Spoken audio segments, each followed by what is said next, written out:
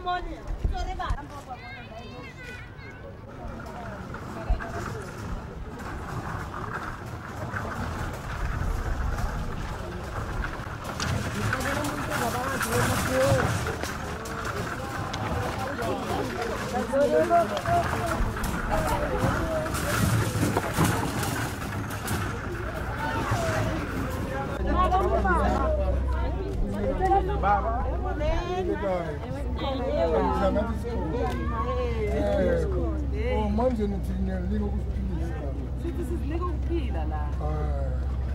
uhamba kanjanizothi kuhamba kanjani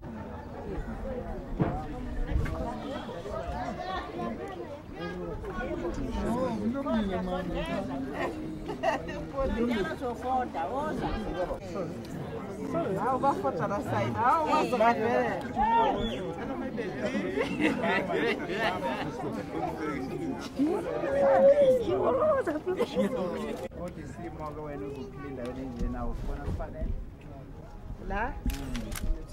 iya kusibona sifanele kunokukamuntu um eh ngobeka muntu siyaphi eh esi sikhathi sokuqosha ngo 11 ebusuku uzoshona phi bathi sifuna ukuphumphele manje eh? sengisho ukuthi mhlawumbe ubona ukuthi awufuni ukuthola yakho indawo nawohlala ukuphile njengabanye bonke abantu siyayifuni ndawo manje yini enza ukuthi ukuthi imali imali imali asinayo ukuthenga izindlu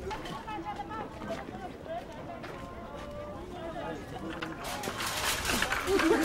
you.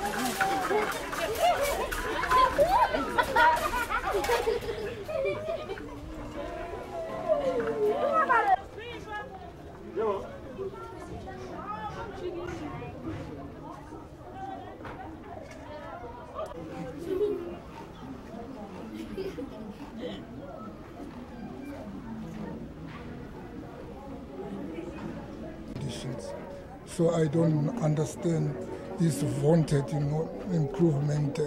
and uh, that now we see uh, people are well accommodated, you see, overseas, you see, and uh, that now you know, things like sanctions, you see, will have a, uh, and uh, well, uh, well, that is now undesirable if, if